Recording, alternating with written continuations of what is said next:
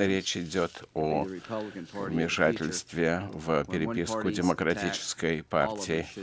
Фактически тогда речь шла об этом. И отметим, что речь идет о статье 5, фактически, когда страны и государства вмешиваются, это первый момент. Второй момент, как бы, так сказать, раскрытие программы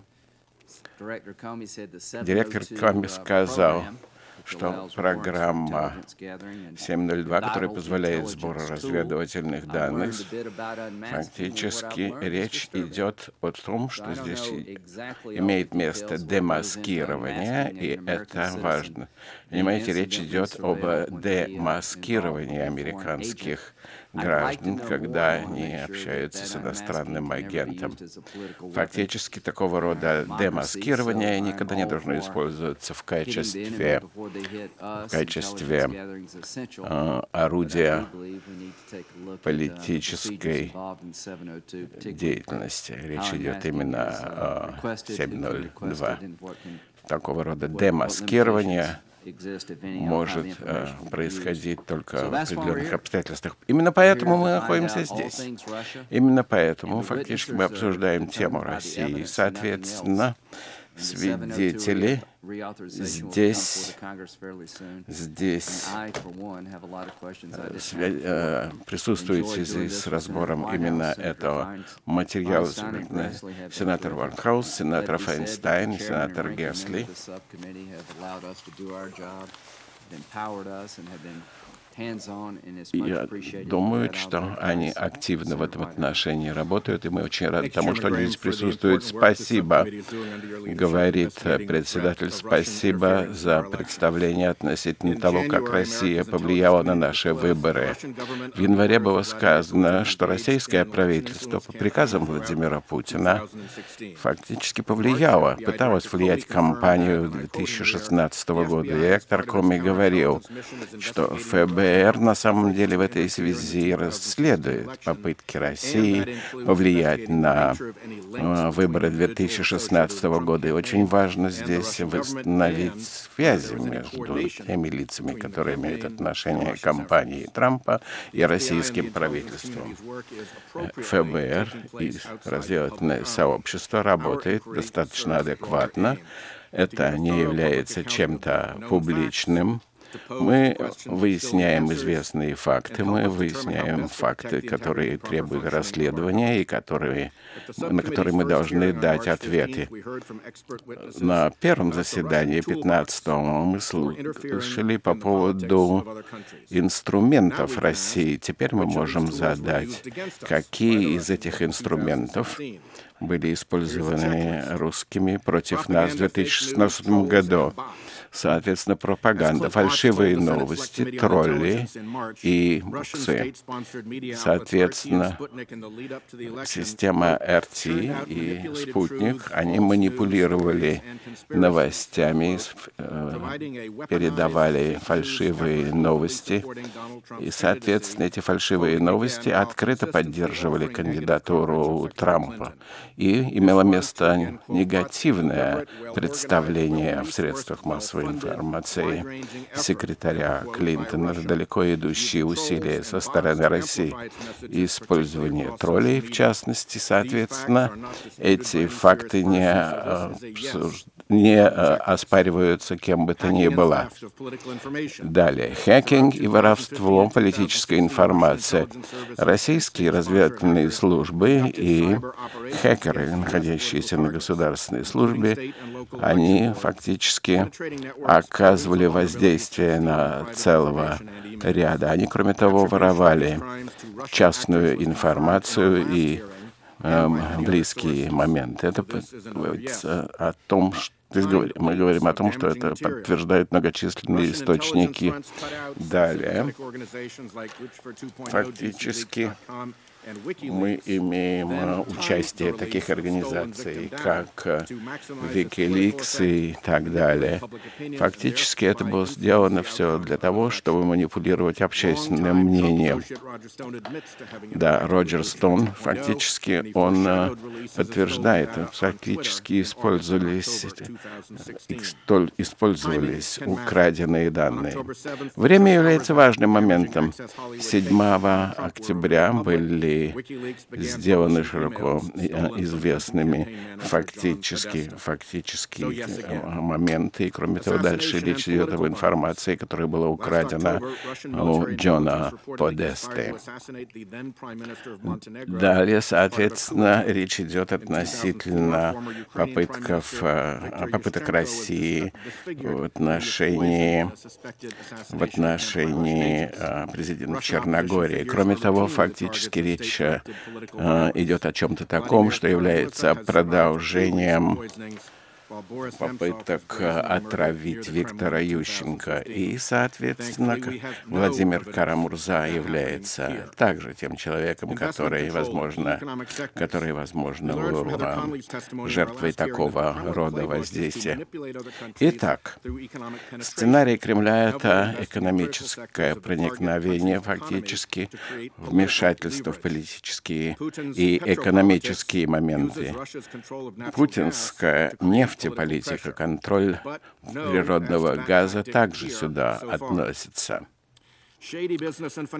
Да, всякого рода сомнительные теневые действия.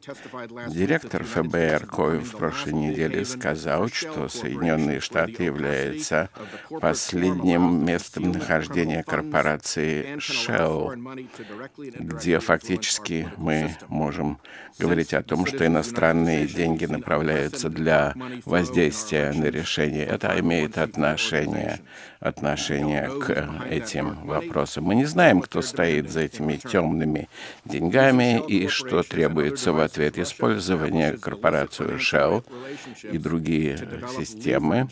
Россия действует на сильных, мощных фигур. Соответственно, это морковка, так сказать, когда речь идет о взятках, или же когда речь идет о негативных воздействиях. Отметим, что такого рода политика проводится с середины 90-х годов и вплоть до э, 2000-х э, годов, соответственно. Отметим, что фактически речь идет об использовании приемов, которые характерны для организованной преступности. Фактически все это имело отношение к Трампу и его компании. Фактически Дональд Трамп младший сказал, что у него был целый ряд и большое число, это было большое число поездок в Россию в связи с проектами по, э, по э, недвижимости. И фактически на самом деле речь идет здесь о том, что создаются серьезные запасы средств. То есть целый ряд серьезных вопросов возникает здесь. Конечно, президент Трамп может прояснить эти вопросы, дав информацию относительно своих э, финансовых, финансовых документов. В прошлый, прошлую среду директор Коми сказал, что финансовые моменты использовались Россией на протяжении многих лет. Однако еще во времена э, Джозефа Олсопа использовался так называемый, говоря по-русски, компромат или компрометирующие материалы. Соответственно, Россия использует эти моменты для того, чтобы попытаться скомпрометировать целый, целый ряд воздействий. Здесь мы задаем вопрос по этому поводу. Мы знаем, что около Трампа находится целый ряд людей, которые являются дружелюбно настроенными по отношению к России. Майкл Флинн, в частности, соответственно, имеет дружелюбные отношения с военной разведкой Рассетки. Он принимал участие в праздновании на мероприятии э, компании РТ, российское телевидение, и он там сидел очень близко рядом с Владимиром Путиным. Соответственно, Он стал неформальным советником по национальной безопасности у Трампа, когда Трамп был выбран в конце марта. Другая фигура — Пейдж. Э, Пейдж говорил, что определенные моменты были серьезно э, поставлены под вопрос за счет определенных. Кроме того, были встречи с Сергеем Кисляком. Это относилось, в частности, с Эшенсом. Соответственно, Джеред Кушнер, зять Трампа, имел отношение к такого рода моментам. Вашингтон Пост опубликовала, что там был большой набор встреч, и заместитель министра иностранных дел России говорил о том, что они общались с компанией, с э, выборной, с выборной группой Трампа. Отметим, что в конце 2016 года президент Обама назвал целый ряд мер против России, соответственно. Однако, когда речь шла о встрече Флинна с Кисляком, то в конечном счете в последующем Флинн дал э, ложную информацию относительно содержания своих разговоров с Кисляком. Президент и его администрация должны объяснить это. Отрицание фактов, использование фальшивых новостей все не примут Прошло более ста дней администрации Трампа, и только один человек фактически призван к ответственности за неправильные контакты с русскими. Это был Майкл Флинн. Однако говорится о том, что в конечном счете эти контакты не были не допустимыми, не были неправильными, просто, соответственно, имело место неправильное понимание. Однако, в конечном счете, все это, что это мы имеем серьезные моменты. Отметим, что фактически 18 дней, 18 дней прошло между тем моментом, когда происходили контакты Флинта и в конечном счете э, российскими представителями.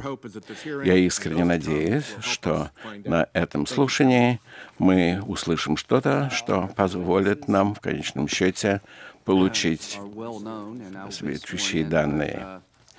Сенатор Грэм, господин Клаппер, это бывший директор национальной разведки. Он в течение целого ряда лет был на этом посту, соответственно. И кроме того, кроме того, мы слушаем исполняющего обязанности министра юстиции в прошлом, того и другого. Итак, вы согласны говорить здесь правду, только правду и ничто, кроме правды. Господин Клаппер.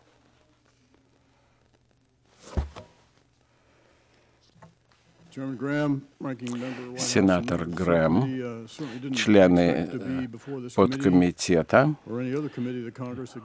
я хочу высказаться по вопросам, о которых сейчас шла речь. Соответственно, понятно, что я в конечном счете обеспокоен серьезным русским э, вмешательством. Поэтому мы должны от имени обеих партий сосредоточить внимание на этом. Была представлена сводка и достаточно интересный обзор. Фактически была проведена, кроме того, э, оценка по этим моментам. Фактически, в конечном счете, мы говорим о том, что такого рода информация в несекретной форме была до сведения соответствующих людей. Фактически это теперь относится к тому периоду, когда уже этот документ был, был сделан. Белый дом попросил определенные моменты здесь выступить, и, и непосредственно официальные знания остановились на 25 января, когда я э, ушел в отставку со своей со своей должности. Так, ЦРУ, ФБР и другие организации, три организации, на основании которых я свои соображения и основываю. В конечном счете речь идет относительно того, чтобы мы имели здесь достаточно полное показание этого. 200 20 аналитиков, зрелых экспертов, они должны были проанализировать это, и они проанализировали эти данные по разведку и пришли к целому ряду важных заключений включая активное использование кибервозможностей. Россияне использовали это против обеих республиканских партий, в том числе взломали серверы, используемые Национальным демократическим комитетом, и использовали данные, украденные Wikileaks и другими каналами. Они при этом не публиковали связанную с республиканцами информацию. Первый вывод был сделан о том, что президент Путин использовал эту кампанию для того, чтобы добиться утери доверия со стороны американцев в адрес а, наших процессов а, выборных, также ряд других целей, и, в частности, для того, чтобы поставить более выгодное положение президента Трампа.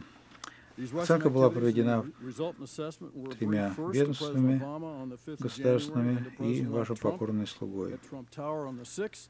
И соответствующий брифинг был проведен со стороны президента Обамы, а также надо сказать, что а, засекреченная версия а, этого доклада была снабжена многочисленными поправками и комментариями, и то, что было опубликовано, соответствовало секретной версии. Четыре месяца с лишним прошло, и директора Коми и Роджерс давали показания 20 марта, и надо сказать, что выводы, которые были тогда сделаны, до сих пор соответствуют действительности, что в свою очередь говорит об высоком уровне профессиональности сотрудников развительного сообщества, которые давала показания и работала в условиях очень жестких обстоятельств а, с коротким сроком выполнения задачи. Четыре связанных темы поднимались, которые имеет смысл разъяснить.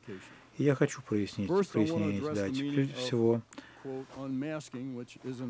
Разоблачение, в кавычках, это термин, который использовался в СМИ в последние месяцы, и он неправильно используется и неправильно понимается, как нередко бывает в ходе проведения законным образом. слежения за тем или иным лицом по различным законным причинам, попутно, случайно собирается и другая информация, которая становится достоянием соответствующих э, органов. Существуют процедуры минимизации, которые действуют в разведывательном сообществе, и при этом те, не против кого направлены такие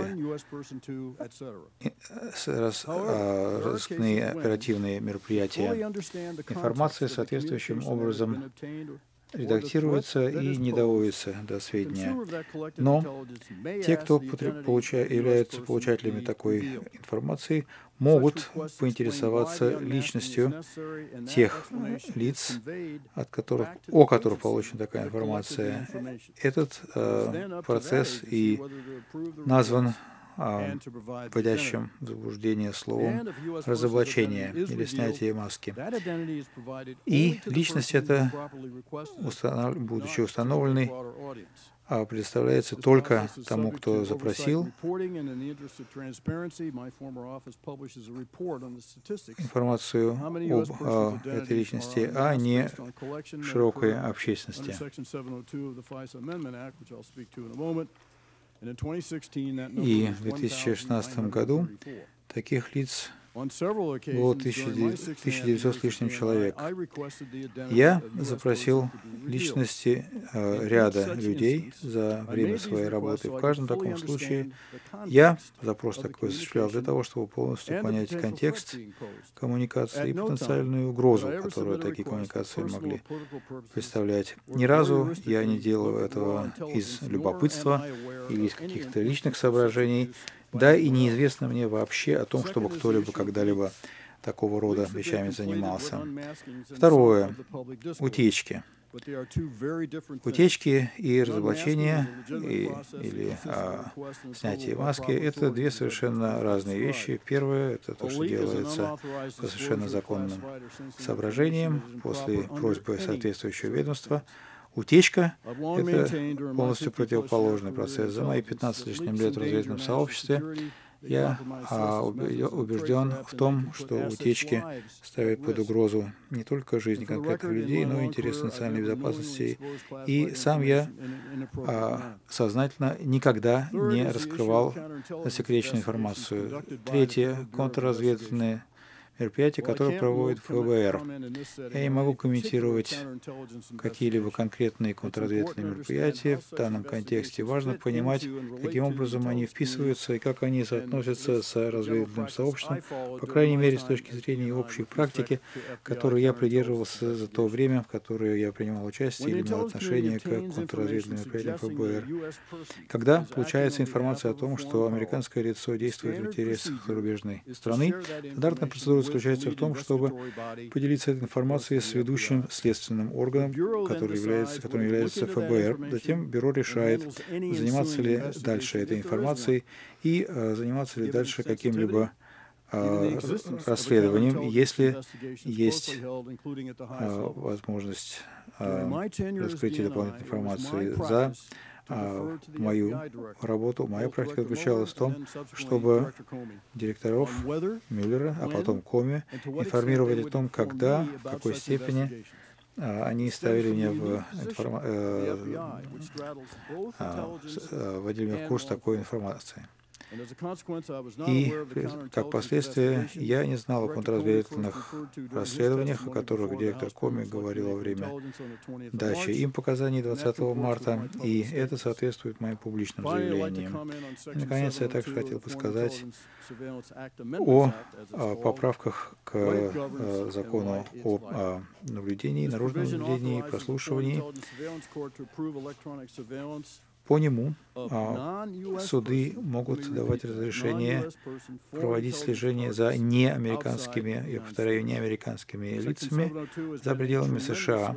И раздел 760 номер 2 был и остается очень важным инструментом при проведении контртеррористической деятельности. И, как председатель Грэм заметил, раздел 7.02 будет пересматриваться Конгрессом в этом году. Он был возобновлен прошлом году, а, и он завершает свое действие в декабре этого года, будет трагедией, если а, он не будет возобновлен, и мы тем самым потеряем инструментарий, который чрезвычайно важен для безопасности нашей страны. Деятельность России по осуществлению воздействия на а, американские выборы стали беспрецедентно высокими за последние а, долгие годы, в связи с чем, наверное, они сами себя поздравляют, а, при том, что они с минимальными затратами сумели добиться весьма серьезных успехов, в кавычках, и я думаю, это окрылило их и придало им уверенности в том, что продолжать заниматься этой деятельностью не только в этой стране, но и по всему миру. И а, сейчас, как никогда, важно призвать к проявлению бдительности и осторожности и аккуратности. Я думаю, что этот эпизод как раз служит демонстрацией того, что мы столкнулись и сталкиваемся с угрозой, которая ставит под вопрос а, саму суть, саму ткань нашей демократии. У меня все. Председатель Грэм и следующие старшие комитета, члены подкомитета. Для меня большая радость присутствовать сегодня с вами и отвечать по этим важным вопросам о вмешательстве России, наши президентские выборы и все темы, которые связаны с расследованием подкомитета. 27 лет я представляла народ США. Для меня это большая честь в Министерстве юстиции. И я начинала в качестве помощника генерального прокурора в Атланте в осенью 89 года. И как все прокуроры, я вела расследование, выступала в суде и работала для того, чтобы обеспечить безопасность наших сообществ и чтобы призвать к ответу тех, кто нарушал наши законы. С течением времени через, э, я прошла через пять администраций американских, э, республиканских, демократических, и я потом работала в секции по борьбе с коррупцией, потом я была заместителем министра юстиции, потом министром юстиции. И потом я где-то около двух лет работала за министра юстиции, и потом, когда текущая администрация попросила меня а, продолжить в качестве министра юстиции. В течение своей работы в министерстве для меня было большое удовольствие работать с талантливыми, а, профессиональными сотрудниками министерства, которые применяли законы с большой осторожностью и приверженностью, и которые являлись а, стержнем департамента. И на каждом своем посту, начиная с а, своей роли в качестве прокурора, вплоть до министра юстиции, я выполняла свою ответственность для того, чтобы следить за правосудием, и чтобы действительно соответствовать тому доверию, которое американский народ на меня возложил. Я хотела бы благодарить этот комитет за то, что он проводит такое непредвзятое расследование этой важной темы и усилия наш, иностранных агентов, которые хотят вмешиваться в наши демократические процессы, демократические процессы наших союзников, представляют серьезную угрозу всем американцам. И эти слушания, и другие такие слушания, проведенные под комитетом, и которые будут проводиться в будущем, это очень важно важный двупартийный шаг для того, чтобы мы могли а, обеспечить демократию в нашей стране. И а, оценка развития сообщества 27 января говорит о том, что Россия будет продолжать проводить а, подобную деятельность и представлять угрозу США. Мы должны им противостоять. Я хочу поблагодарить возмож... благодарность за возможность выступить сегодня и участвовать в этом процессе. В ходе ответа сегодня на ваши вопросы я постараюсь предоставить как можно более полную картину. А вместе с тем буду соблюдать ограничения юридические, которые на меня накладываются. Я понимаю, что сегодня очень многие чувствительные вопросы будут обсуждаться, и которые я не смогу в открытом формате полностью обсудить. Я должна защищать засекреченную информацию, а, будучи, когда я была и а, государственным чиновником, и несмотря на то, что я больше не работаю в Министерстве юстиции, вместе с тем я не уполномочена разглашать разглашать информацию, которая обсуждалась исполнительной властью, особенно если эта информация является частью ведущегося расследования. И я очень серьезно отношусь к своим обязанностям. Я благодарна за то, что подкомитет также привержен защите секретности информации и э, в ходе расследования, которое проводит сейчас Министерство юстиции. И с удовольствием отвечу на ваши вопросы. Спасибо.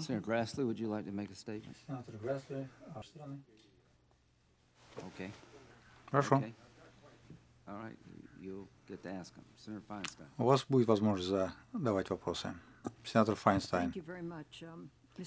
Большое спасибо, председатель. Я вкратце скажу. Мы подготовили для а, комитета, и я хотела бы наших сотрудников попросить распределить некоторую историческую справку о а, генерал-лейтенанте Майкле Флини и содержащие ключевые даты, которые помогут подкомитету ориентироваться. Я хотел бы воспользоваться этой возможностью поблагодарить подкомитет, председателя Грэма и старшего следующего старшего за ту работу, которую вы проделали. Очень вам благодарны. Сейчас я хотела бы сделать несколько замечаний, если это можно чтобы для протокола все зарегистрировать. Я думаю, что нет никаких сомнений в том, что Россия вмешивалась. А, мы видим это даже на примере французских выборов, может быть, не в том же масштабе, но все-таки они сделали повторную попытку вмешательства в выборы.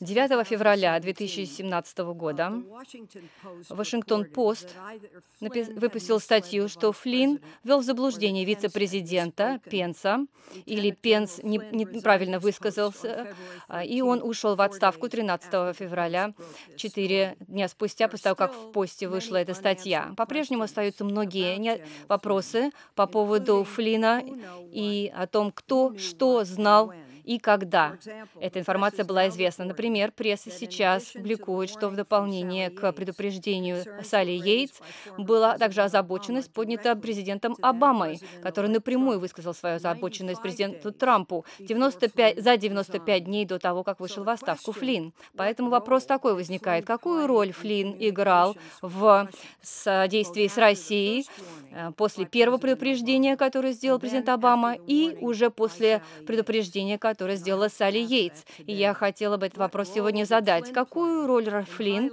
играл а, в а, решениях на высоком уровне национальной безопасности в течение 95 дней и потом 18 дней после того, как Белый дом был уведомлен о его деятельности? Поэтому я буду задавать вопросы об этом. Хочу услышать на эти вопросы ответы от вас. А, бывшая исполняющая обязанности министра юстиции Йейтс, вы 26 января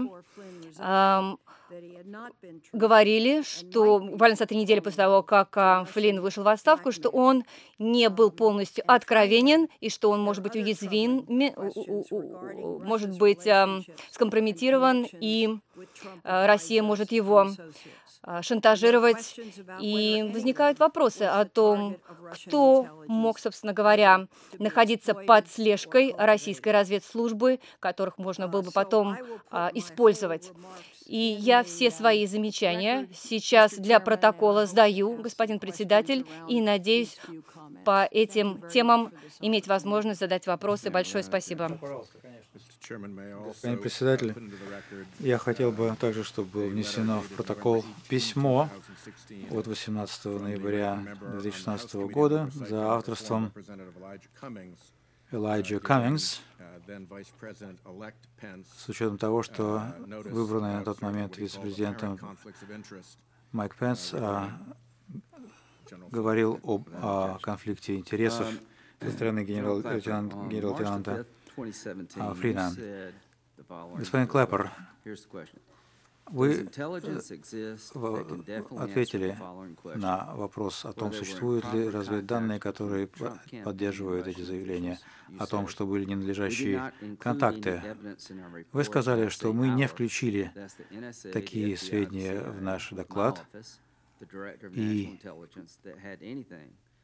мы не обнаружили ничего, что в какой-нибудь степени говорило об о сговоре между членами избирательного штаба Трампа и россиянами.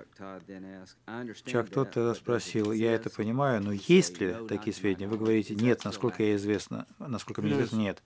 А соответствует действительности? Да, соответствует. Госпожа Йейтс, есть ли у вас какие-либо доказательства или существует, известно вам каких-нибудь доказательствах, что во время кампании 2016 года кто-либо в избирательном штабе а, Трампа а, состоял в сговоре ненадлежащим образом? Сенатор, с, с, мой ответ на этот вопрос потребует, чтобы я разгласила засекреченную информацию, я не могу этого сделать. Ну что же, нет, не очень понятно, потому что он только что сказал, что он выпустил доклад, и он сказал, что он не знает о существовании таких свидетельств. Что вы можете знать того, что такого, что нет в докладе? Я думаю, что директор Клаппер также сказал, что он не знал, что ФБР проводил Правильно ли будет сказать, что контрразведывательное расследование еще не дошло до такой стадии, чтобы быть включенным в доклад? Правильно это, господин Клаппер? Возможно, это, да, вероятно, возможно. Мне непонятно, каким образом в ФБР может быть контрразведывательное э, следствие, из которого вытекает, что был сговор, а вы, как директор разведки американской об этом не знаете и подписываете доклад о том, что не было никакого сговора. Я могу только, я могу только предполагать, почему так оно было, и почему не было свидетельств, если были какие-либо свидетельства и доказательства, почему они не а, достигли а, того порога, а, за которым они считаются неоспоримыми а, а, доказательствами. Ну что же, понятно.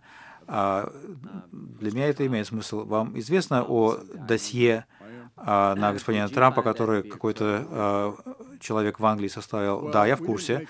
А, с вашей точки зрения, слушательного доверия, мы не принимали никакого решения по нему. Это одна из причин, по которой мы не включили этот доклад. То есть вы не считали достаточно заслуживающим внимания и доверия. А мы не могли подчеркнуть, мы не могли, вернее, подтвердить а, достоверность сведений. Вы знакомы с этим досье? Если я могу, могла бы прояснить кое-что, потому что я думаю, что сенатор, может быть, меня не понял. Вы меня спросили, знала ли я о каком-то доказательстве сговора. Я отказалась отвечать, потому что я тогда раскрыла бы классифицированную информацию. И это тот же самый ответ, что и директор Коми давал этому комитету, когда ему тот же вопрос задавали. И он хотел тогда четко сказать, я хочу утвердить, что я, то, что я не могу ответить на этот вопрос, не нужно, пожалуйста, делать умозаключений, что ответ является «да». Хорошо, справедливо. Я также считаю, а я также хочу сказать, что это подчеркивает то, что я пытался сказать в своем заявлении об уникальном положении, а, которое занимает ФБР между разведкой и правоприменением. Я просто хочу сказать, что то, что они делают в плане контрразведки, господин Клейпер об этом не знал, господин Клейпер не включил этот доклад а, и не знал, что из этого следует. Госпожа Йейтс. Что вы сказали, госпожа Йейтс, Белому дому по поводу У меня были Флина. две личные встречи и один телефонный звонок с советником Белого дома, а, юрисконсультом Белого дома о Флине. Первая встреча была 26 января. Я позвонила Дону Магену первым, утром, и я сказала, что у меня есть очень чувствительный вопрос, который я должна с ним обсудить. Я не могу по телефону обсуждать вопрос, должна лично это сделать. Он согласился со мной встретиться. Во второй половине дня, того же дня, я также встретилась с старшим сотрудником отдела по национальной безопасности, который вместе с Макеном со мной встретился. Э, я приехала в Белый дом, чтобы мы могли обсудить в его офисе эту засекреченную информацию.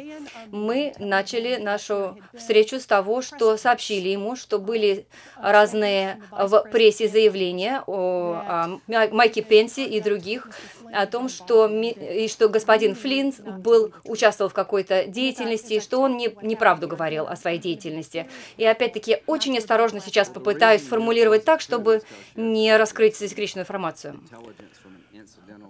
Речь идет относительно разведданных из и системы, на этот вопрос тоже не могу ответить, потому что я тогда буду раскрывать попутная информация.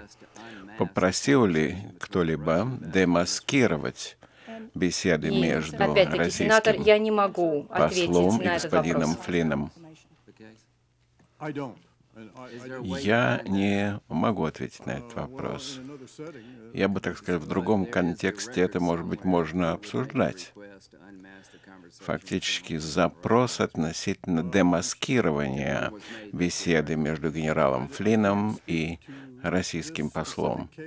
Я не могу отвечать конкретно и говорить об этом конкретном моменте. Фактически эти данные все документированы. Я не хотел прерывать вас, однако для меня это важно. Каким образом эти беседы между российским послом и генералом Флином оказались в распоряжении Washington-Post? Это важный вопрос, большой вопрос. Я не знаю ответа на этот вопрос. И я тоже не знаю ответа на этот вопрос. Правильно ли сказать, что кто-то внес запрос о демаскировании участников этого разговора. И фактически мы могли бы тогда выяснить, каким образом это было сделано. И я хотела бы, чтобы Речь вопрос... идет относительно что, того Вы спрашиваете, агентства, если запрос будет э, направлен в Министерство юстиции? Запрос о демаскировании. Я и говорю о разговоре между господином Флином и российским послом. Фактически, был ли сделан запрос на демаскирование, как мы говорим, этого разговора? Правильно ли я понимаю это? Хорошо. Что вы говорите под конец Итак, я Белому им сказала, дому? что было несколько а, публикаций о вице-президентах и о других высокопоставленных чиновников о поведении Флинта, которое может быть, а, может быть интерпретировано как ложное заявление. И как мы эту информацию получили, как, она, как мы узнали о том, что это было неправдой, и также у, у юрисконсульта был его э, сотрудник, и об, мы обсуждали поведение генерала Флина. Я не могу сейчас поделиться содержанием нашей беседы, но мы э, довольно подробно обсудили поведение генерала Флина, что он сделал, и разные обсудили э, отчеты в прессе. Мы также сказали юрисконсульту Белого дома, что генерал Флин 24 февраля прошел интервью с ФБР. А, господин Могил спросил меня, как это происходило. Я ответила, что не могу ему ответить. Потом мы с господином Магеном обсудили, почему мы ему эту информацию сообщали. Прежде всего, мы господину Магену пытались объяснить, что а, поведение генерала Флина а, может представлять проблему само по себе.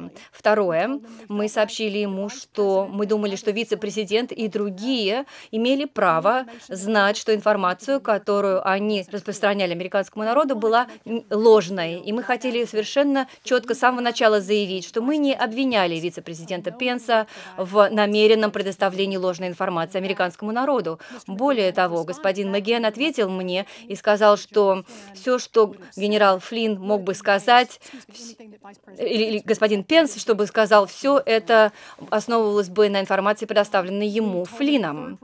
И мы также были озабочены, что американский народ был введен в заблуждение о поведении генерала а, а, Флина. И помимо этого мы были не единственные, кто знал об этом, что а, Россия также располагала информацией о деятельности Флина, и Кремль также знал о том, что генерал Флин ввел в заблуждение вице-президента и других, потому что в СМИ по отчетам было видно, что они повторяли то, что генерал Флин им сказал. И это представляло проблему, потому что не только мы считали, что Россия располагала информацией такой, у них было доказательство этого. И это могло скомпрометировать Флина, когда советник национальной безопасности мог подвергнуться шантажу а, со стороны России. И, наконец, мы сказали им, что мы предоставляем вот эту всю информацию для того, чтобы они могли предпринять соответствующие действия, которые они считают а, нужными. И потом меня спросили, а, нужно ли уволить генерала Флина. Я сказала, что это не наше решение, это их решение. Мы просто предоставляем информацию, чтобы уже они сами предпринимали необходимые действия. Спасибо. Краткий вопрос. Соответственно, когда речь шла о попутном сборе информации, когда речь идет о президентском кандидате, соответственно, о сотрудниках э, э, аппаратов кандидатов, можете ли по этому поводу что-то сказать? Что вы сказали? Да, когда речь шла о попутном сборе информации, когда разведное сообщество собирает информацию, касающуюся кандидатов в президенты от той партии или другой, речь идет о 2015 или 2016 году. Такого разбора проходил, да или нет? Я думаю, что директор Коми тоже ему задавали этот вопрос, и он отказался на него ответить, поэтому я буду следовать его примеру эм, и сказать, что добавить, что не, пожалуйста, не думайте, что если я отказываюсь отвечать, это означает, что я а, им на самом деле могу сказать «да». Мой ответ... Мой ответ такой, что это не относится к внутренним вопросам. Следуя за линией директора Коми, он давал показания на полном заседании комитета ФБР, провело интервью господина Флина за день или за два дня до встречи, которую вы провели в Белом доме, и вы говорили о том, что вы сказали консультанту Белого дома относительно Флина, и Маган, соответственно, спросил, как вы это сделали. Соответственно, если у вас документ 302 с собой, соответственно. Нет. ФБР проводил интервью 24-го. Мы 25-го получили от них протокол, подробный протокол от агентов, которые проводили интервью. Но мы не хотели, ждали, не хотели ждать 3.02, потому что нам мы считали очень важно а, наискорейшим образом эту информацию предоставить Белому, Белому дому, потому что а, агенты много собрали информации. Мы хотели а, мы хотели убедиться в том, что воздействие на расследование будет проходить Итак, должным это резюме образом. вы взяли с собой. Был ли у вас с собой документ, который описывает это интервью?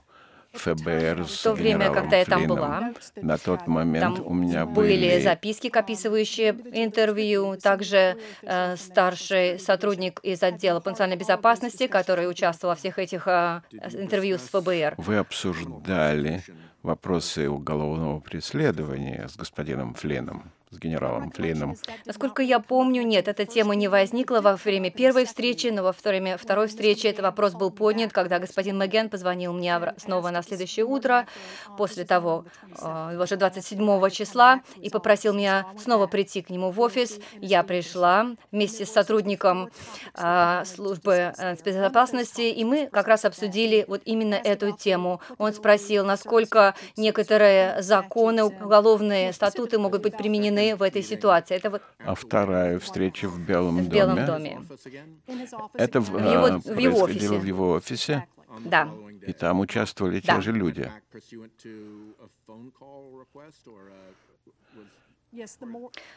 Да, 27-го утром после нашей встречи, а, 26-го утром 27-го господин Маген мне позвонил и пригласил меня снова прийти в Белый дом для того, чтобы в дальнейшем обсудить эту тему. Мы назначили время, я была там во второй половине дня. Тот же самый а, сотрудник был со мной из отдела потенциальной безопасности, который занимался расследованием. Он также там присутствовал другой сотрудник от Белого, э, из Белого дома, и мы те же вопросы обсуждали. Вы могли бы, вероятно, подождать до того момента, когда вы получили документ 302. Зачем не подождать, а прямо сразу двигаться? это было срочное дело. Определить, насколько важно было уведомить, мы должны были решить некоторые важные моменты здесь учесть, потому что мы считали, что очень важно Белому дому донести эту информацию как можно быстрее, потому что вице-президент, не ведая того, делал ложные заявления общественности, и мы также дум- боялись, что э, Флинн будет скомпрометирован. И мы пытались э, поддерживать расследование ФБР, м, сбалансировать их работу, ведь э, и учитывать их озабоченность, их а, мы как бы были озабочены тем, что эта информация повлияет на расследование. После того, как а, с Флином было проведено интервью, мы уже не были так озабочены Знаете ли а, вы, где происходило это интервью и в каких Я думаю, это обстоятельствах? произошло в Белом доме. Интервью с Да. Флином. А что, был у него адвокат? Нет, не думаю. В том сценарии, о котором вы говорите, вы видите, что приходит заявление от Белого дома, они не соответствуют тому, что вы знаете. Вы исходите из того, что Белый дом говорит правду. Таким образом, Флинн говорит неправду, и он подвержен манипуляции со стороны русских. В конечном счете, вы могли бы обратиться к... Да, потому что один из вопросов, который мне Меген а, задал, когда я второй раз вернулась, он спросил, почему а, Министерству юстиции так важно, если один а, чиновник Белого дома предоставляет ложную информацию другому. Мы объяснили ему, что это было гораздо больше, чем просто представление ложной информации. У нас мы снова упомянули те озабоченности, которые у нас были о поведении, о том, что он предоставлял ложную информацию вице-президенту и потом уже вводил в заблуждение таким образом общественность. То есть каждый раз, когда эта ложь повторялась и а, ложная информация становилась более и более конкретной по мере того, как она впускалась, каждый раз, когда это происходило, это повышало возможность его быть скомпрометированным. И мы, конечно, опасались, что э, Россия будет э, уже Были ли будет уязвим для России. либо выводы во время первой встречи, которые вы сделали? Да, был пункт действий во второй встрече, потому что мы говорили о некоторых, о нескольких вопросах. Вы сказали ранее, что было две встречи, телефонный разговор. Телефонный разговор, он предшествовал, Был он еще предшествовал третий. второй встрече. Третий, суще... да, звонок дополнительный. Один из вопросов, который Маген поднял во ходе второй встречи, 27-го, после, вот, на следующий день после первой встречи, это то, что он выразил свою озабоченность о том, что мы ему предоставляем эту информацию, для того, чтобы они предприняли действия, и он сказал, что, предпри... что действия могут помешать расследованию ФБР. И мы сказали ему, что и старшие сотрудники, а, и он, и я не должны быть озабочены этому, потому что Флинн прошел интервью, и их действия не будут мешать проведению расследования. Более того, я конкретно помню, что сказала, что было бы а, наоборот а, несправедливо, если бы мы сообщили вам это, а вы ничего бы не делали. Интервью с э, генералом Флинном, оно прошло быстрее, когда вы получили эту информацию и когда вы сделали это заявление. Мы хотели как можно быстрее эту информацию донести до Белого дома. Мы работали с ФБР и в ходе расследования, и Первое. Итак, вы располагали этой информацией, что-то было сказано, а Белый дом говорит Да. что-то еще, что-то другое. Вы знаете, что эта информация должна поступить быстро в Белый дом. И на этот момент было сделано решение провести интервью, соответственно. Это Да. так? чтобы негативного воздействия на, разле- на расследование ФБР не произошло. И был запрос со стороны господина Мэгена в ходе второй встречи о том, чтобы посмотреть на те доказательства, которые у нас были, которые мы ему описали о поведении, а, касательно поведения Флина. И мы разработали а, план передачи доказательств. Мы должны были как бы эту информацию запросить у Министерства юстиции. Потом в пятницу 27-го у нас была как бы третья беседа, когда мы ему сообщили, что мы будем с ФБР работать для того, чтобы ему эту информацию предоставить. И я обещала ему позвонить в понедельник утром. Я ему позвонила, сказала ему, что мы предоставим их возможность посмотреть эти доказательства. Это было по телефону. Это когда? Отдельный звонок или как? изначальный звонок о том, чтобы назначить с ним встречу, потом были две встречи, и потом в конце был телефонный звонок, чтобы сообщить ему, что материалы будут ему предоставлены. Он должен был мне перезвонить, он в тот момент не мог со мной разговаривать, но он мне перезвонил во второй половине дня, в понедельник, это 30 было числа. все по поводу этого эпизода. Никто не Я не пришел знаю, и не что после этого произошло, этот потому что это был последний день работы в Минюстиции. Сенатор Грессли, господин Клаппер, вы сказали, что вы никогда не предоставляли секретную информацию неправильным образом. Я задавал директору Коми вот такого рода вопрос, рассчитывая получить ответ типа «да» или «нет». Соответственно, информация была какого-то рода э, рассекречена и предоставлена Нет, насколько мне известно, нет. СМИ. Следующий вопрос. Кто-либо из вас, были ли вы анонимным источником для источников информации относительно того, что русские пытались вмешиваться в выборы? Третий вопрос. Кто-либо из вас санкционировал кого-либо другого в ваших организациях, чтобы он бы- вы были анонимным источником в отношении господина Трампа и Нет. связанных с ним лиц? Насколько вы оба о- знаете, знаете ли вы какое-то государственное агентство, которое знает относительно утечек информации, что является предметом для возможного уголовного преследования? Я не знаю. Понимаете, существует процесс, с помощью которого это может быть установлено. Я не знаю, чтобы это произошло. Я больше не работаю в Министерстве юстиции, поэтому я не знаю, какие были сделаны мероприятии. Поэтому мы можем резюмировать, что никто из вас не знает, что в отношении того, что ник никакой департамент не санкционировал э, расследование по уголовному направлению. Кто-либо из вас подвергся опросу ФБР в отношении утечки? Нет. Нет.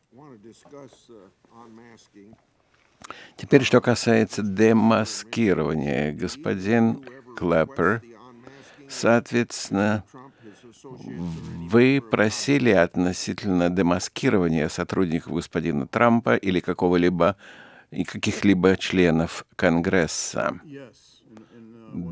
Да, в одном случае я это сделал. Однако я не могу обсуждать это более подробно. Вы, вы говорите, что вы не можете это обсуждать? Не здесь, нет. Госпожа Йейтс, можете ли вы ответить на этот вопрос?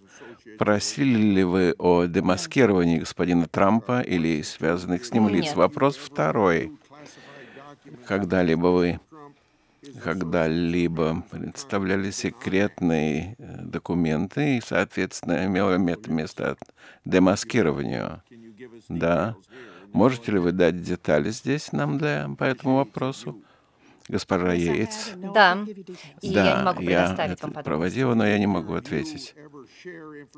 Делились вы информацию относительно демаскирования сотрудников Трампа с кем бы то ни было еще?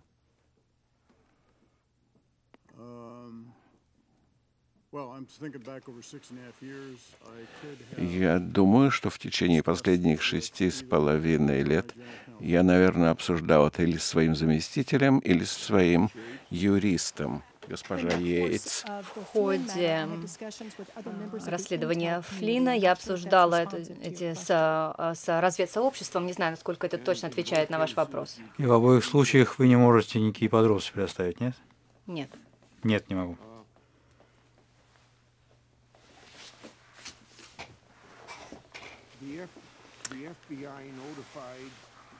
ФБР уведомила Национально-демократический совет о том, что россияне взломали их систему в августе 2015 года. Но при этом демократы отказались от э, помощи ФБР и не предоставили им доступа к им серверам. Вместо этого они весной 2016 года наняли частную фирму Wikileaks, напили а, выпускать взломанные электронные сообщения в июле месяце прошлого года Демократического а, комитета демократов. А, и после того, как ФБР уведомили об этом взломе, было опубликовано несколько тысяч электронных сообщений. Господин Клапер, вы согласитесь с тем, что один из уроков этого эпизода заключается в том, что когда ФБР сообщает вам о том, что вас а, взломали, а, вам нужно сотрудничать с ФБР вместо того, чтобы а, не сотрудничать с ними. Да, я думаю, что это очень хорошая идея сотрудничать в таких ситуациях с ФБР. Вы сказали, вы сказали, что россияне никакой негативной информации не публиковали о кандидатах-республиканцах. А, я считаю, что это не совсем так. 15 июня 2015 года Гусифер 2.0 сообщил а, свыше 200 а, с лишним страниц исследований по господину Трампу, сотни, сотни страниц того, что я назвал бы грязи, после того, как за несколько дней до этого Wall Street Journal написал материал о том, что нужно сделать для того, чтобы предотвратить выдвижение Трампа кандидата. Почему не было ничего сказано в а, отчете Рейшера о том, что было напечатано? Почему это не было даже не, провел, не было оценено в ходе доклада? Мне нужно будет проконсультироваться с аналитиками, которые участвовали в подготовке этого доклада, для того, чтобы дать однозначный ответ. Я лично не знаю, рассматривали они это или нет. Можете ли вы это в качестве ответа в письменном виде э, подать? Я частное лицо в данный момент. Я не знаю, какие правила. Потенциально эта информация засекречена. Я должен я должен э, разобраться в этом. Господин Клэппер, вы говорили о том, что разведывательное сообщество провело тщательное расследование российского вмешательства, и аналитики, которые в этом участвовали, имели полный доступ ко всей частной, ко всей, вернее, а, а, ко всей информации развед, разведданной. Есть ли у вас какие-нибудь э, есть э, о том, что какое-либо ведомство не предоставило доступ к актуальной информации? Думаю, что нет. А, с одной оговоркой. Есть вероятность, возможность, опять-таки, признавая то, что роль, э, которую играет ФБР между разведывательным, да, разведывательным сообществом и правоохранительными органами. Может быть, по этой причине они могли не, предо... они могли не предоставить э, информацию чувствительную для расследования. Я не хочу сказать, что они это сделали, и не говорю, что они это делали. Я просто хочу сказать, что это возможно. У меня время кончилось. Сенатор Файнстайн. Спасибо большое, господин председатель. Госпожа Йейтс, я не буду вам задавать вопросы, на которые вы должны будете отвечать, раскрывая какую-то секретную информацию. Но после вашей второй личной встречи с господином Магеном вы сказали, были четыре темы, которые вы хотели с ним обсудить. Перечислите их, пожалуйста. Да, первая тема в ходе второй встречи была посвящена почему, тому, почему это было важно для Министерства юстиции что один чиновник другому предоставляет ложную информацию. Второе – это применимость а, уголовных а, законов по, и и э, возбуждение уголовного дела против Флина. Третье – это его озабоченность, что э, действие, которое они могут предпринять, будет мешать расследованию э, против Флина. И четвертая тема – это запрос о доказательствах. И все эти темы, э, все эти запросы вы удовлетворили? Насколько вот вам кажется, после второй встречи? Да. Единственное, что осталось незакрытым, это логистика, э, чтобы мы могли э, необходимые э, документы им предоставить должным образом. Но вы сделали все необходимые действия для этого. Да, мы это сделали, но я не знаю, насколько это произошло и имели ли возможность рассмотреть доказательства. Ну, хорошо. Также а, генерал-лейтенант а, Флинн был а, в течение 18 дней советников по национальной безопасности после того, как вы предупредили министра юстиции. Вот в течение этих 8, 18 дней мог ли он быть скомпрометирован, я не знаю, я не могу сейчас точно вам ответить на это.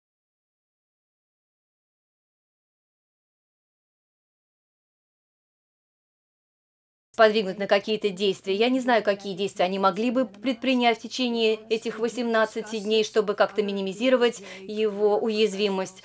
Но как вы считаете, что э, это их задача была такая? Да, мы очень много обсуждали эту проблему с Министерством юстиции, с, э, с, с разведсообществом, но потом я уже больше не работала в Министерстве юстиции, я не знаю, э, как эта тема дальше обсуждалась и какие мероприятия были проведены. А вы а, консультировались с другими а, прокурорами? Да, мы, мы в отделе по национальной безопасности консультировались с экспертами, а, с теми, кто работал с ФБР по этому расследованию. Мы хотели определить самый лучший способ уведомить, чтобы эту информацию наилучшим образом предоставить Белому дому, чтобы они уже могли предпринимать действия. Ну и что тогда вы хотели, собственно говоря, получить в результате? Ответьте да или нет. Вот если господин Флинн, генерал Флинн, действительно скомпрометировал безопасность США и, может быть, даже правительство, своими действиями, какие бы там они ни были. А, мы а, хотели логическую цепочку выстроить. Мы не хотели, чтобы советник а, по национальной безопасности был уязвим для шантажа и со стороны России. Я не знаю, что могло произойти, но я знаю, что ситуация была нехорошая, мы хотели, чтобы Белый дом об этом знал. И газета «Гардиан» также эм, публиковала информацию о том, что великобританские разведслужбы в 2016 году знали о взаимодействии между советниками Трампа и российскими разведслужбами. Эта информация была передана вам и американским разведслужбам весной 2016 года. Многочисленные американские а, союзники также доп дополнительную информацию предоставили США о контактах между компанией Трампа и Россией. Это точная информация? Я не могу ответить на этот вопрос. Генерал Клаппер, это справедливая информация? Да, это верно. И это также является конфиденциальной информацией. Хорошо, тогда позвольте вам Конкретика следующее. этого достаточно конфиденциальна. Вопрос задать. Когда, э, когда разведсообщество предприняло расследование взаимодействия между советниками Трампа и России? Когда это началось? Повторите вопрос, пожалуйста. Когда разные разведслужбы предприняли, а, стали проводить расследование взаимодействия между советниками Трампа и, российскими могу, агентами. Я могу сослаться на заявление директора Коми 20 марта по Комитете по разведке Палаты представителей, когда он сказал, что а, в июле 2016 года они а, начали расследование. И какова была реакция, когда вы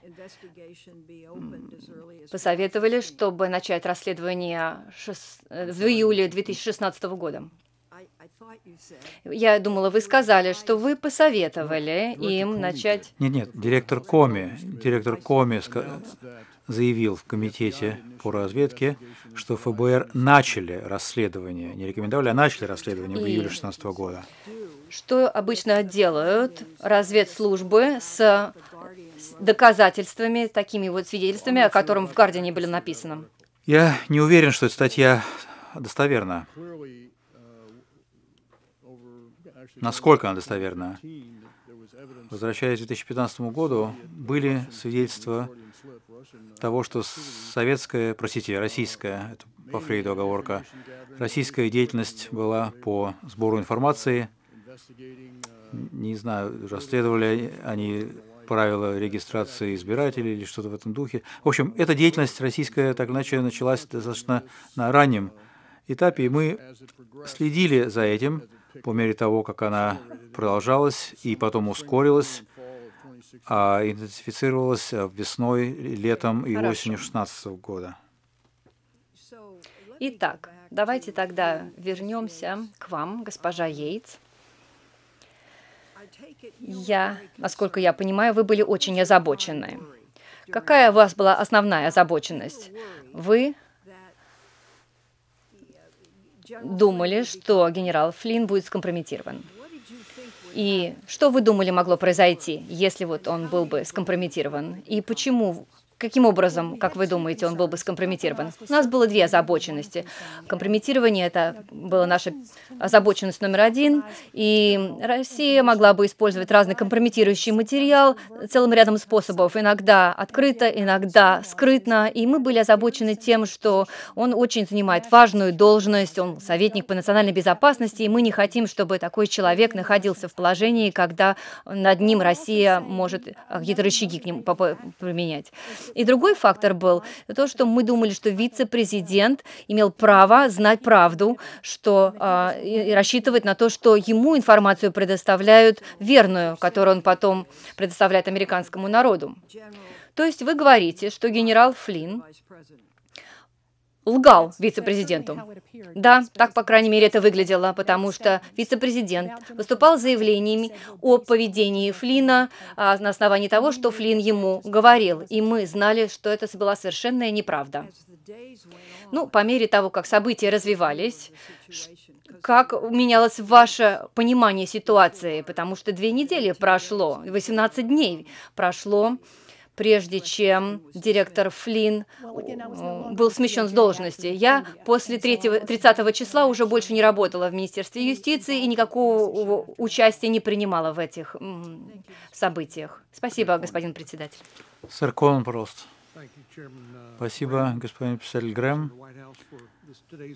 Господин Уайтхаус, сегодняшний слушание чрезвычайно важный. Американцы имеют право знать по максимуму о российском вмешательстве в наши выборы, но как директор нам неоднократно говорил об этом, но в этом ничего нет. Хотя, может быть, интенсивность и изощренность как открытых, так как тайных, так и явных операций россиян возросла, и я благодарю разведывательное сообщество за их оценку. Я сожалею, что, да, безусловно, эти два свидетеля, мы рады, что они здесь, а, и Сюзан Райс а, а, отказалась давать показания в комитете. Мне кажется, много вопросов остается, которые ей бы нужно было дать, на которые ей бы нужно было дать ответ. Но я хотел бы отметить, что господин сенатор Файнстайн и я, к счастью, находимся также в Комитете по разведке а, в Сенате, который проводит двупартийное расследование под руководством председателя Берда и вице-председателя а, Уорна. Одно из преимуществ этого дополнительного расследования заключается в том, что у нас нам был предоставлен доступ к а, необработанной разведывательной информации, которая была собрана разведывательным сообществом, которая довершает и завершает картину, которая была незавершенной. Важно американцам понимать, что происходит. И я думаю, что это слушание в подкомитете нашем а, играет важную роль в том, что у американцев сложилась полная картина о том, что происходит. Я хочу директору Клэпру задать вопрос. К сожалению, часть а, обсуждения об а, демаскировании бросает тень на разведывательное сообщество и, а, откровенно говоря, это вызывает озабоченность, особенно когда мы а, используем а, раздел 7.02 закона, патриотского закона. Как многие говорили, я не, помню, как вы это назвали своими словами, но я знаю, директор Коми сказал о том, что это зеница ока деятельности разведывательного сообщества, и меня очень заботит та информация, которая обсуждается о демаскировании. Например, может вызвать у многих а, людей озабоченность э, легитимностью этого, законностью. Когда речь идет о случайном сборе информации об американском лице, который затем демаскируется по запросу надлежащего соответствующего органа власти, можете вы коротко писать а, бумажную процедуру и процедуру утверждения, которую необходимо пройти для того, чтобы это произошло. Это ведь не мелкий какой-то вопрос, не, не просто все это происходит. Процесс, процедура, вот, значит, прежде всего решение принимается о том, демаскировать или не демаскировать, то есть э, э, сообщить об э, личности человека, в случае 702 это будет Совет национальной безопасности.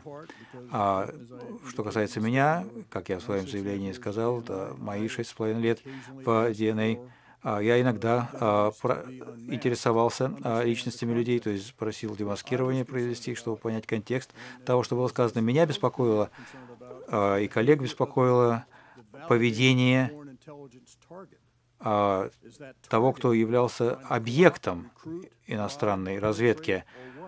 А что пыталась, э, пытался делать этот объект. Очень трудно понять этот контекст, а, если его называют американское лицо номер один американское лицо номер два, без указания на личности. И кроме того, делая это на основании того, что кто-то сказал об этом и о том, что получено сообщение об разведке электронными действиями, или второе сообщение о разведке электронными действиями. Поэтому я, с своей стороны, пытался очень и очень умеренно к этому подходить. Это очень а, чувствительная операция, но я считаю, что а, как а, заместитель на своей должности находясь, я просил демаскировать это лицо, потому что я представлял, насколько важно это, чтобы определить, какого рода какого рода объект, преследуемый иностранной разведкой, может создавать угрозу или не создавать угрозу. То есть речь делалось это только для того, чтобы понять контекст. Но то, что какой-то надлежащий орган власти может получить информацию а, о лице, разве это само не а, по себе не дает вам а, а, возможности выпустить такую а, деклассифицированную информацию в публичное а, а, пользование? Разве это не представляет собой э, выступление. Микрофон выключен. Именно поэтому в моем заявлении я пытался провести это различие между демаскированием лица и утверждением со стороны соответствующего органа, и утечкой, которая является неуполномоченным несанкционированным процессом, независимо от того, какие были обстоятельства. Господин писатель, очень важно для того, чтобы понять, кто именно запросил демаскирование, для того, чтобы понять, были ли выполнены необходимые процедуры как а, в плане законодательного надзора, так и судебного надзора, для того, чтобы определить, какова бумажная была процедура. Я, позвольте мне, я здесь очень осторожно должен а, выражаться, но я просто хочу повторить вам определение того, для чего использовалось 7.02 для сбора против информации против неамериканского лица за рубежом. А, господин Клэппер, я думаю, что а, очень важно повторять это и повторять неустанно. Людям важно понимать, что мы получаем важную иностранные разведданные для того, чтобы но при этом мы должны сохранять э, право на частную жизнь, конституционные права э, лич, э, частных американских лиц. Госпожа Эйтс, э, вы впервые появились э, в Конгрессе с тех пор э, в качестве выступающего, дающего показания, с тех пор, как вы ушли из Минюста. Я хочу задать вопрос о вашем решении отказаться защищать а, а, указ президента. В письме, которое вы направили в Конгресс, вы отмечаете, что указ сам по себе был составлен в, консультации, в процессе консультаций с а, отделом юрисконсульта, и вы э, заметили, что юрис, отдел юрисконсульта рассмотрел это с тем, чтобы определить, является ли указ надлежащий а, составленным и, а, и а, закономерным. Действительно ли так, что не было такое решение принято? Да, да. совершенно верно. Да. Я... А какие у вас полномочия отменять их решение и ваше решение, что Офис было юрисконсульта важным, имеет очень узкую специфи- специализацию. Это, это рассмотреть э, положение исполнительного указа на предмет соответствия, э, если какие-то, может быть, части э, могут быть не, не в соответствии с законом. И, например, если какие-то заявления, которые могут быть сделаны прежде, чем это, этот указ указ будет выпущен, чтобы как-то повлиять, которые могли бы повлиять на а, его применение. И удостовериться в том, что он конституционален, этот указ, и мы должны провести вот такой анализ. Госпожа Эйтс, Министерство юстиции имеет длительную традицию защиты в суде. Соответственно, фактически в конечном счете эти аргументы могут быть убедительными, но в конечном счете решает суд, а не решаете вы, как да, министерство. это правда, что часто, но не всегда а, гражданское отделение Минюста будет а, анализировать а, указ или действия президента. Но в данном случае все аргументы должны основываться на правдивых данных, потому что мы Минюст, мы не просто как юридическая фирма, мы Минюст. Соответственно, истина или законность. Да, да потому что в данном случае, когда мы рассматривали на намерение указа, намерение, э, которое мы проанализировали, как бы э, намерение применения этого указа, вот почему мы решили, приняли решение, что это был незаконный Госпожа указ. Яйц, у вас замечательная история работы в Министерстве юстиции, 26 лет. Я голосовал за ваше утверждение, поскольку я считал, что у вас замечательная карьера. Однако нашел чрезвычайно обескураживающим, что вы в конечном счете наложили вето на соответствующее решение, когда речь шла об указе президента. И вы фактически были вы фактически выразили несогласие Я с этим. понимаю, что вы хотите сказать, но хочу прояснить. Это была не а, политика. Э, я, когда проходила свои слушания по а, подтверждению себя в должности, вы и ваши другие коллеги задавали мне конкретные вопросы в ходе того слушания насчет того, что если президент меня попросит сделать что-то, что я считаю неконституциональным, незаконным, или что как-то плохо отразится на Минюсте, скажу, скажу ли я ему нет на это. Я рассмотрела это, этот вопрос, я а, приняла решение, что это был незаконный указ, что он не соответствовал а, статутам Минюста, и я отказала ему, как я и обещала вам это я сделать. Я не знаю, как вы можете это сказать, что это было законно. И, соответственно, как это соответствовало вашей прерогативе? Сенатор, я не говорила, что это был законный. Я говорила, что был незаконный указ. У меня есть э, быстрый вопрос относительно того, как работает 7.02. Здесь есть нечто, э, вопрос, что не совсем понимаю. Соответственно, речь идет об использовании закона ФИЗа, и речь идет о ситуации внутри Соединенных Штатов. Существует определенная процедура, когда речь идет о внутриамериканских контактах. Вы говорили относительно того, что происходит за границей. Соответственно, э, он не был за пределами Соединенных Штатов в соответствующую дату. Да, в отношении того, что сказал сенатор Корни относительно незаконного характера запрета на приезд э, э, мусульман. Фактически три суда постановили, что это не соответствует. Да, это верно. Да, я хотел бы отметить, что это критически важное слушание. Соответственно, я хотел бы отметить, что здесь мы имеем, так сказать, двухпартийный подход. И очень важно, что подчеркнуть, как мы рассматриваем тяжесть той проблемы, которая перед нами стоит. Конечно, замечательный комитет, замечательный председатель, однако фактически они не не использовали свой профессиональный аппарат для этого. Итак, в этой ситуации мы, то, что мы видим, фактически это требует назначения независимой комиссии президентской или комиссии Конгресса, которая в конечном счете дойдет до дна в изучении этого вопроса о вмешательстве России. Конечно, мы попытаемся на уровне комитета делать все, что от нас зависит. И это, конечно, тот вопрос, который требует гораздо больше. Я также хотел бы сказать, что когда я слушаю выступления республиков, речь идет о 7.02, и сенатор Ли, республиканец, и я, мы, соответственно, обсуждаем это в течение целого ряда лет, однако мы не получаем здесь поддержки. Однако фактически нам нужна реформа 702, которая будет защищать э, э, права, права э, права американских участников. Речь идет о связи и о контактах с Россией, и о возможностях, да. возможностях шантажа.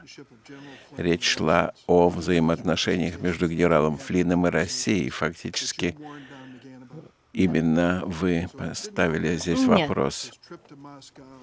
То есть вы не возвращались к его поездке в Россию, полученным деньгам и так далее. И далее у вас была вторая встреча. Правильно. Фактически по его просьбе. По его да. просьбе встреча с Ганом.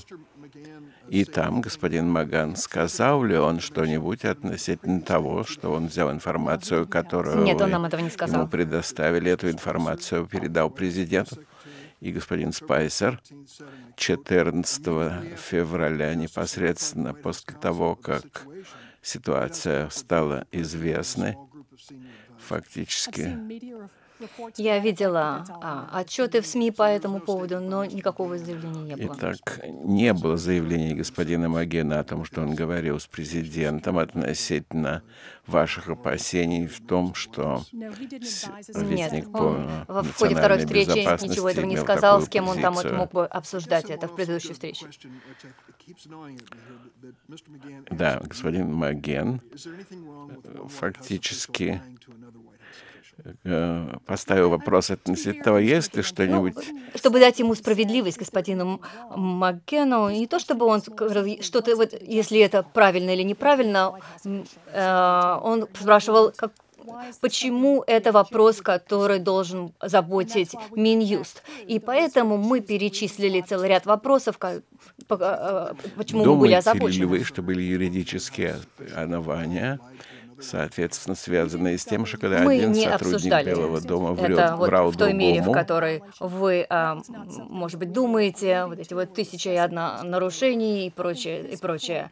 Нет, когда он, господин Мэгген, вот это вот э, замечание сделал мне, он просто говорил, что он был не уверен, почему Минюст, собственно говоря, был так озабочен а, предоставлением ложной информации одним чиновникам другому. Они, и... и причина которую вы ему высказали. Опять-таки, здесь не только дело в этом э, заключалось, не только в том, что один чиновник врал другому, это то, что, а то, что это был, э, он предоставлял ложную информацию вице-президенту, а вице-президент уже э, общественности информацию ложную предоставлял, и Кремль об этом знал, и э, теперь Флинн мог быть скомпрометирован поэтому. Вы сказали ранее, как я помню, господин Маган спросил вас, должны ли мы в да. тот момент были уволить Я сказала ему, что это не наше решение, увольнять его или нет. Мы просто предоставляем ему эту информацию, чтобы они предприняли действия, которые они считают соответствующими.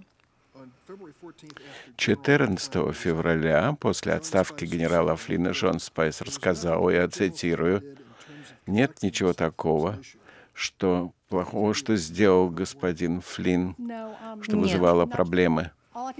Нет, все, что я могу сказать, что это э, э, умозаключение он не мог сделать на основе нашего э, общения с нами и той информации, которую мы ему предоставили. Разрешите спросить, 18 дней, период 18 дней прошел. 18 дней. За это время прошел целый ряд моментов. Генерал Флинн продолжал оставаться в должности советника по национальной безопасности, как вы проинформировали Белый дом относительно риска. И в эти 18 дней он продолжал брать на работу ключевой персонал. Соответственно, речь шла также о моментах, связанных с баллистическими ракетами, Шинзо Абе, японский премьер, здесь обсуждал, и, соответственно, реакция на запуск э, ракет Кореи, соответственно. Это все имело отношение в связи также с беседами с русским послом. Итак, конечном счете, все эти моменты, имеющие отношение к национальной безопасности, они произошли тогда. После 30 декабря я уже больше не работала в Минюсте, и поэтому я не могу ответить на ваш вопрос. Генерал Клаппер, можете вы что-нибудь сказать? Вы имели предупреждение от Белого дома или от Минюстиции относительно того, что генерал Флинн оказался скомпрометированным, и фактически его решения могли бы здесь э, быть сложными. Да, гипотетически, да, я уж также в это время вышел из правительства. Однако у вас серьезная карьера в разведке и национальной безопасности. И, соответственно, здесь речь идет о том, что он компрометирован и может быть шантажирован. Тем не менее, он продолжал влиять на решение высшего уровня в правительстве. Да, конечно, речь идет о потенциальной уязвимости. Спасибо, господин председатель, спасибо. Спасибо, господин председатель. Спасибо свидетелям. Вы говорили относительно вреда, который происходит за счет утечек, и вы говорили о важности защиты секретной информации на протяжении многих ваших лет работы в разведке в качестве директора национальной разведки. Когда-либо вы предоставляли секретную информацию не государственному сотруднику или не государственному компьютеру, который не имел права получать такую информацию. Но, насколько я помню, нет, такого не было. И директор Клэппер, что бы вы сделали, как директор национальной разведки, если бы вы узнали, что сотрудник передал сотни или даже тысячи электронных сообщений сотруднику или супругу сотрудника. Понимаете, я не занимаюсь расследованиями или обвинениями в этой связи. Однако я, конечно, считаю, что это должно быть доведено на сведения соответствующих официальных лиц. Речь идет здесь о чем-то таком, что вы считаете обычным? Нет. Какие опасения вызывает это с вашей стороны? Понимаете, это вызывает определенные опасения в плане безопасности, когда речь идет о содержании электронно-почтовых сообщений относительно того, что там содержится потенциально, я говорю в гипотетическом плане, гипотетический сценарий здесь таков, в конечном счете это вызвало бы озабоченность. Да, что бы вы фактически предприняли в отношении сотрудника, который передал бы сотни или тысячи сообщений. Здесь речь идет о такого рода нарушении, понимаете ли? Существует, если речь идет о серьезных нарушениях и компрометации, мы соответствующие подали бы здесь отчет. Соответственно, это необходимо расследовать и предъявить обвинение прошлой неделе я задал аналогичный вопрос директору Коми, и он сказал, что соответствующее лицо было бы, было бы подвергнуто серьезным, серьезным мерам воздействия, однако не было бы судебного преследования. И не знаю. Фактически, я думаю, что предыдущая администрация фактически она подвергла преследованию большое количество людей, однако на самом деле это не просто делать. Во многих случаях, скажу так, мы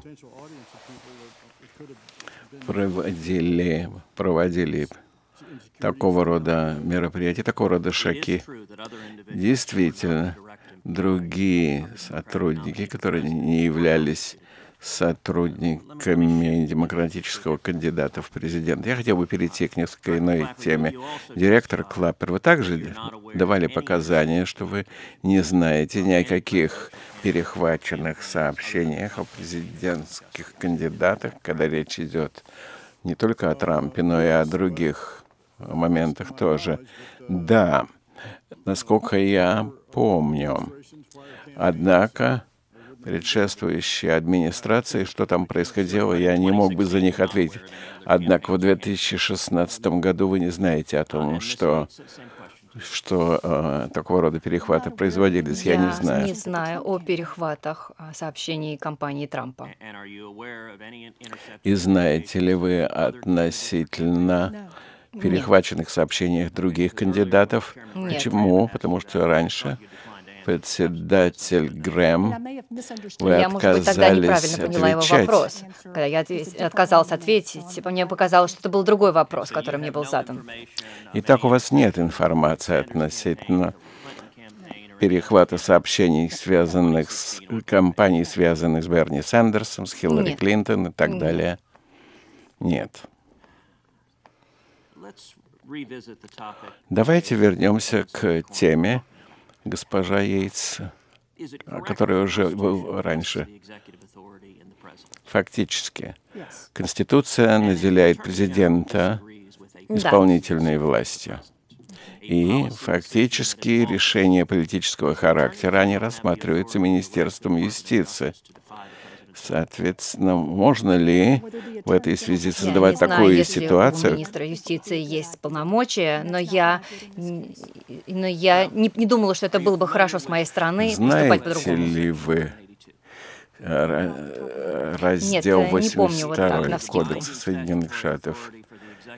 Это относительно обязательств в отношении проведения в жизни тех моментов, которые вы отказались проводить в жизни. Там говорится, когда президент находит, что вхождение или иммиграция иностранца или группы иностранцев, он может, соответственно, путем объявления предотвратить или временно приостановить иммиграцию любых иностранцев. И фактически в этом смысле любые ограничения являются неуместными. Да, я знакома с этим. Я также знакома с дополнительным положением, где говорится, что ни одно лицо не будет а, дискриминировано а, потому что на основании расы, национальности или места рождения. И я считаю, что это было добавлено уже после того статута, который вы цитировали. И это как раз вот в судах и обсуждалось, а, насколько вот это конкретное а, второй статут а, имеет более как бы первостепенное действие. И насколько это было, а, соответствовало Конституции, насколько это было в соответствии с Конституцией, и насколько этот указ нарушил Конституцию, особенно в том, что касается вот этих положений о защите, о дискриминации и процессуальности. Нет сомнений в том, что соответствующие аргументы справедливы. Однако, в конечном счете, речь сейчас идет о том, что те решения, которые были предприняты, они пересекались и а, противоречили решению президента. Его исполнительный указ, предлагаемый указ, соответственно, утверждается с точки зрения его легальности. 27 января он был правомочен и законен. Тремя днями позже, соответственно, это было и в том переменено. же самом э, заявлении сказал, что я, я не, не была была уверена в том, что это было законный, был законный указ. Также наш офис а, юрисконсульта рассматривает субстанцию документа и попытается и пытается определить, есть будут ли какие-то обстоятельства, при которых вот этот закон будет, этот указ будет законным. И то есть мы за пределами этого документа не рассматриваем ситуацию. Но в данном случае, когда мы говорим о фундаментальном вопросе религиозных свобод, а не интерпретации каких-то уже ушедших в лету статутов.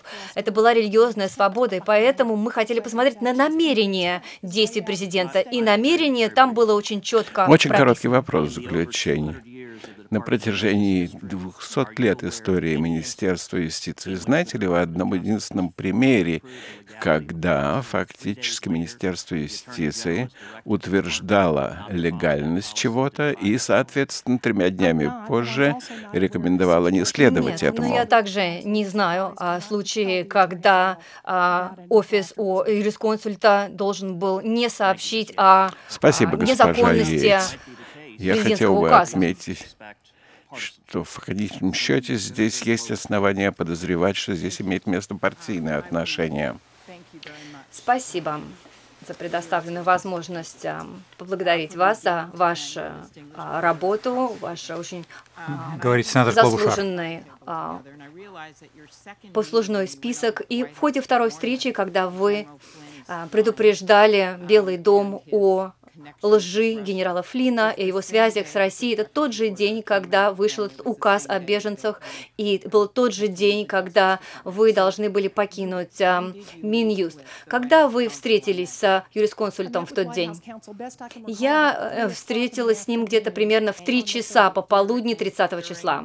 И в ходе этой встречи они упомяну... кто-нибудь упомянул вам, что вот этот указ о беженцах должен быть выйти? То есть э, э, действующий, исполняющий обязанности министра юстиции не знал об этом?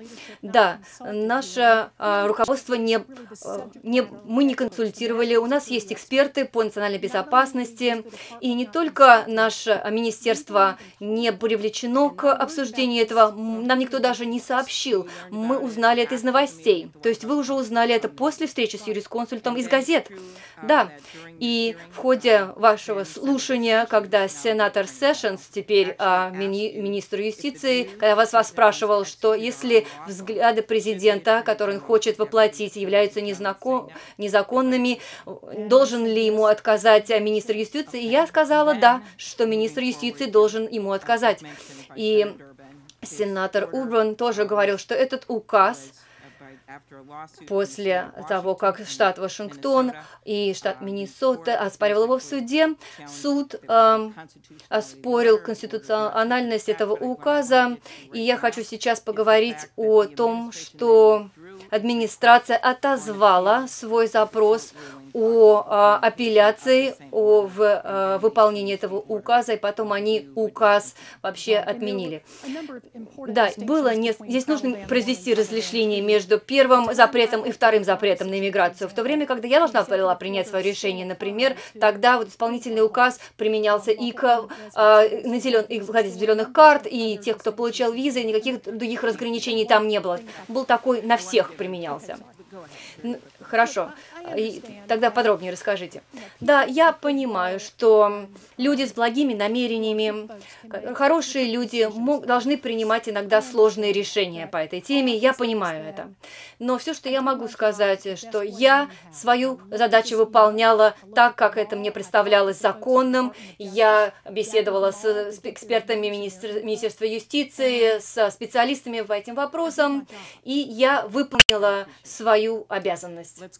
Хорошо, спасибо. Поговорим о России. 29 декабря – это день, когда сенатор Грамм и я, мы были вместе с сенатором Маккейном, э, слушали о вмешательстве России в выборах в Грузии, в Украине и в других а, странах, и мы обсуждали санкции против России, и это в тот день, когда Майкл Флинн говорил с а, российскими представителями о санкциях, может быть, несколько раз, и потом он ложные данные предоставил вице-президенту. И один из чиновников чиновников Белого дома а, а, говорил, что вы предупреждали их а, об этом. И он э, сказал, что это было такое предостережение. Что это за предостережение могло быть?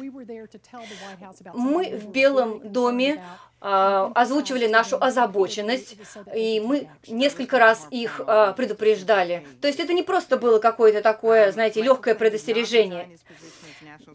То есть Майкл Флинн, однако, только 13 февраля оставил пост э, советника по национальной безопасности. Это вот 18 дней спустя после того, как вы сделали предупреждение. То есть после того, как 28 января они узнали, Флинн, однако, э, присоединился к Дональду Трампу на звонок с Путиным, который целый час продолжался.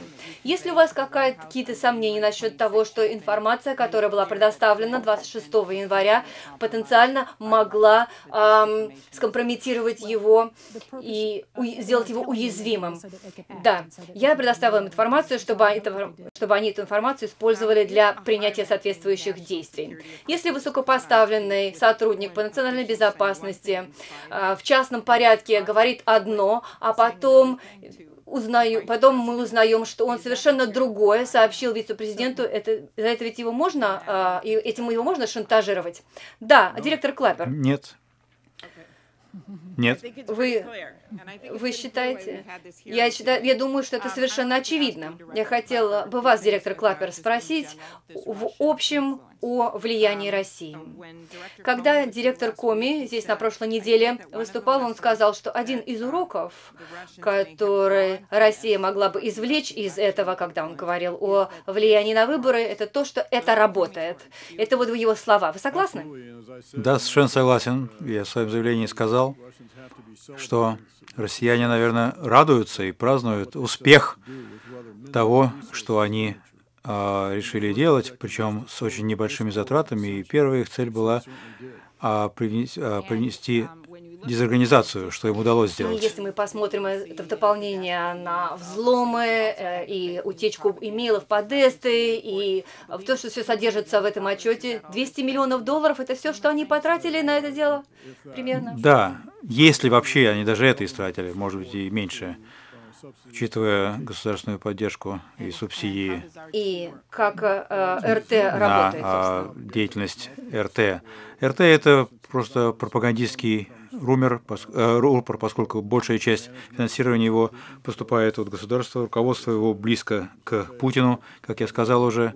Это российский государственный рупор пропаганды национальной. Госпожа Йейтс, вы э, в своей должности э, замминистра юстиции и министра юстиции, я хочу вам задать тот же вопрос, что и Коми задавала. В том, что касается вот офшорных корпораций, где-то 50% движ... сделок с недвижимостью теперь проводятся э, этими корпорациями э, офшорными для того, чтобы... Можно ли как-то более прозрачными в Министерстве юстиции сделать эти процедуры, как вы сотрудничаете с другими странами в этом отношении? Отношений, и э, озабочены ли вы те, что таким образом могут деньги отмываться, и что таким образом этими грязными деньгами можно будет финансировать э, воздействие на разные э, выборы. Да, это очень, э, на самом деле, большая озабоченность. Мы отстаем от других стран в этом плане. Мы не хотим, чтобы были какие-то убежища в офшорах, которые могут использоваться для разных целей, которые могут угрожать нашей национальной безопасности. И э, директор Клапер, вы что-то хотите добавить по этому поводу? Опять-таки, именно поэтому я считаю, что независимая а, комиссия, помимо работы этого подкомитета и комитета по разведке, который очень важную работу проводит, но я думаю, что независимая комиссия позволит а, экспертам независимым глядя уже на следующие выборы в 2020 году, директор Коми говорил, что я думаю, что в 2018 году они вернутся, и в 2020 году они тоже вернутся. Вы да, согласны согласен. И поэтому независимая комиссия позволит нам разработать идеи о том, как мы можем это предотвратить в будущем, а, как а, СМИ, собственно говоря, себя ведет, как, как предвыборные штабы себя ведут, для того, чтобы не позволить иностранным государствам влиять на нашу демократию. Вы согласны с нами, директор Клапер?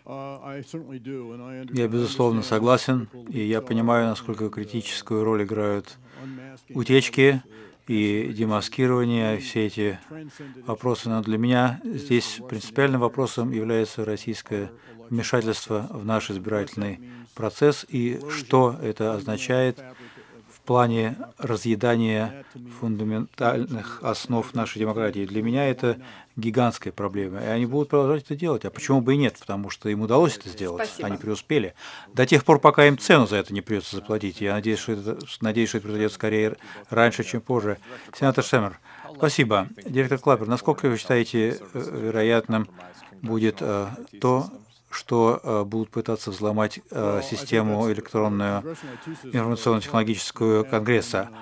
Эта система является и была мишенью, и я видел пример этого во время своей профессиональной деятельности. Был один случай, когда мы оперативно проинформировали Конгресс, когда мы увидели свидетельства и доказательства этого. И а, не только россияне, а другие страны тоже этим занимаются. А какую им это принесет разведывательную ценность. Ну, в зависимости от материалов, которые они могут таким образом умыкнуть, это может быть, может быть вполне чувствительная конфиденциальная информация. Трудно говорить об этом в общих терминах, но в качестве э, общего правила это может быть весьма и весьма опасно и наносить большой ущерб. И можете ли вы сказать об э, взаимоотношениях между этим и интерфейсом с пропагандистскими компаниями, такими как э, те, которые Россия вела, я э, слышал ваше выступление, э, показания о э, пропагандистской деятельности, которую Россия... Вы имеете в виду со стороны россиян? Да, со стороны россиян в отношении их соседей. Они, безусловно, будут использовать, как они и использовали, и примеры этого, это Германия, э, простите, Грузия, я очень говорился, и страны Балтии, когда э, они действительно получали информацию и использовали ее в качестве рычага, а в тех случаях, когда могут и получается, использовали ее в качестве компромата, это российская аббревиатура, а, то есть и как компромат, и как рычаги. А, много всяких а, гадостей можно делать с помощью такой информации. Мы говорили об этом вопросе в текущем контексте в Вашингтоне. Это поляризованный контекст практически всегда задним числом о наших выборах в 2016 году, и превращается все это в а, того а, а, в непродуктивное упражнение. Коми ожидает, что россияне будут в 18-20 годах пытаться снова добить тех же целей, и американцам надо понимать, что россияне пытаются сделать в отношении своих соседей в этом смысле.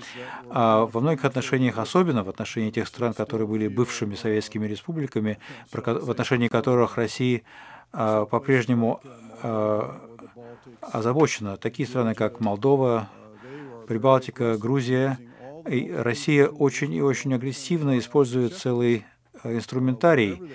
И у одного из сенаторов есть целый список инструментов того, как они делают это, и как только можно используют свои средства влияния для того, чтобы повлиять на выборы и на избрание в высокопоставленные должности и места тех лиц и людей, которые они считают будут более благосклонно к ним относиться. И эта агрессивность уже выходит за пределы Восточной Европы и переходит в Западную Европу. Мы видим это во Франции, я, буду, я считаю, что и в Германии также.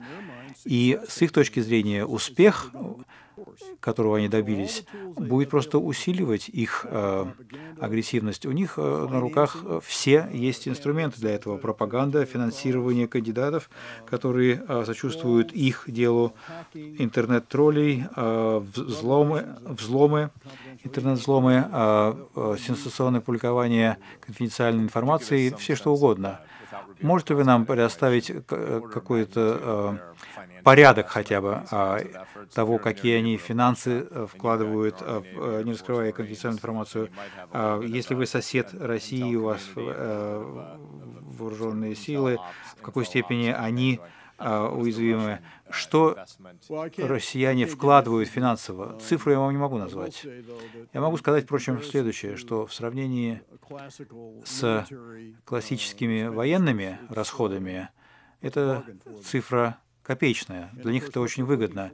И, безусловно, что они ищут, чего они пытаются добиться в Европе? А внести дезорганизацию, внести раскол, уничтожить единство и добиться отмены санкций. Если они могут вбить клинии между ключевыми европейскими э, нациями, манипулируя э, выборы, они обязательно будут делать это. Э, директор, вы э, согласны с оценкой того, что Wikileaks — это известная пропагандистская платформа для России? Да, я совершенно согласен. И я согласен с характеризацией э, директора Помпеоса, что Wikileaks — это не государственная разведслужба. А, поясните, если это действительно так, то получается, что Джулиан Ассанж — это не журналист, правильно? Вы не, не тому человеку задаете этот вопрос. Да, совершенно верно, не журналист. А, разумные американцы а, обеспокоены, когда а, говорят о чем-то, что как об информации, и я а, очень скептически отношусь к господину Ассанжу, и я постоянно обращаюсь в Минюст с тем, чтобы задать вопрос, почему мы не преследуем его за те преступления, действия, которые он совершил, создавшие, э, создавшие опасность для американских активов, но для журналистов, которые пытаются получить информацию в соответствии с первой поправкой, а с тем, чтобы проинформировать о деятельности своего правительства, есть люди в, э, разведывательном в о журналистском а, сообществе, которые а, пытаются пользоваться этими ресурсами. И э, бремя доказывания лежит на, разведывательном, а, на разведывательном сообществе, а не на журналистах. Не на журналистах, которые задают трудные жесткие вопросы. И американцам полезно услышать от вас объяснение того, почему Ассанж — это не просто американский журналист или как бы американский журналист, который задает жесткие и трудные вопросы. Безусловно, здесь есть момент субъективности. И журналист приносит вред, причиняет вред нашей национальной безопасности, компрометирует а, источники и методику этого ремесла и намеренно а, ставит, создает угрозу для этой страны. Когда это делается, вот это это красная линия, которая, если она пересечена, пересечена, тогда уже станет это, это, это неприемлемо. А со стороны Ассанжа и со стороны Wikileaks были какие-нибудь раскрытия информации, которые непосредственно создали опасность для американских интересов? Однозначно да. Так было. А, а у меня почти время кончилось, я хотел еще пару вопросов задать. Э, один вопрос. Можете вы объяснить бюрократический процесс, в рамках которого, который касается информации в отношении политических назначенцев, будет а, а, окажется на столе у а, министра юстиции? Когда вы говорите информация, которая вызывает озабоченность, какую, что вы имеете в виду? Я пытаюсь от вас получить ответ, который не будет э, требовать ссылки на Флина, на ситуацию с Флином. Я думаю, общественности важно понять в целом, каким образом информация о политическом назначенце будет доведена до министра юстиции со стороны ФБР и других членов разведывательного сообщества. В общем, если мы обнаружили информацию. Например, э, ведомство как ФБР обнаружило информацию о политическом назначенце, который вышел как бы на контакт с а, Министерством юстиции. У нас будет юрисдикция э, в этом отношении. Мы эту информацию тогда, эту информацию предоставим, в зависимости от серьезности. Мы, э, я получу эту информацию как а, министр Спасибо. юстиции или как замминистра юстиции. Спасибо, сенатор Грэм. Я хочу благодарить вас обоих за многие десятилетия, которые вы э, работали на э, своих профессиональных должностях. И э, последствия весьма печальные, как вы, э, для нашей демократии и даже экзистенциального характера. А для нашей демократии такого рода действия могут вести. Реальность заключается в том, что иностранный противник преднамеренно оказал воздействие на наши президентские выборы 2018 года, и президент, может быть, не хочет этим заниматься и смотреть этому в лицо, но, тем не менее, это реальность, и разведывательное сообщество согласилось а, с этим с большой уверенностью, и я а, признателен за то, что было а, организовано это заседание и это слушание, и за серьезное отношение к этой угрозе. Бывший директор Клэпер в своем вступлении выступлении э, в начале вы сказали о том, что россияне, наверное, празднуют, и, видимо, они их, их окрылит этот успех э, с минимальными затратами, достигнутыми. Вероятно, что они будут продолжать такого рода деятельность. Во французских э, выборах, которые завершились только вчера, а, было огромное количество сбросов а, взломанной электронной информации в рамках попытки, по крайней мере, с моей точки зрения, повлиять на, выбор, на исход этих выборов для того, чтобы а, помочь тому кандидату, которого предпочитал Кремль, и значимость ненастоящих ложных новостей, которые вместе с реальной электронной почтой, которая была взломана, и совместно с деятельностью всех правосторонних веб-сайтов по выбросу и сбросу этой информации во Франции и за пределами ее. Так ли вы понимаете, что это то, что, то, что произошло во Франции? И что еще более важно, видели вы какие-нибудь свидетельства о сравнимой э, координации между новостными сайтами и выброшенной информацией, а, а, который напоминает а, ту ситуацию, которая была в 2016 году во время выборов? Я знаю о э, Франции только то, что читаю в э, средствах массовой информации. У меня нет никакого доступа к разведывательной информации, которая помогла бы мне какой-то пролить э, свет на это и авторитетно ответить на этот вопрос. Я знаю только то, что было в прессе.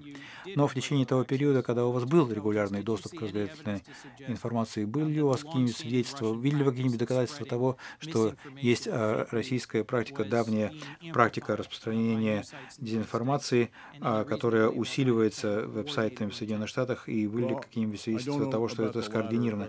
Я насчет последнего не могу ничего сказать, не знаю, но я думаю, что некоторые новостные каналы, не, а, видимо, не будучи в курсе этого, я не могу сказать, в какой степени это было скоординировано и намеренно опубликовано. Но опять-таки это э, на внутренней арене. Вы говорите, что россияне будут продолжать это до тех пор, пока мы не выносим их нести какие-то значительные издержки. Какого рода, с вашей точки зрения, действия мы могли бы предпринять для того, чтобы э, сдержать их в этом смысле? Но это не по моей части.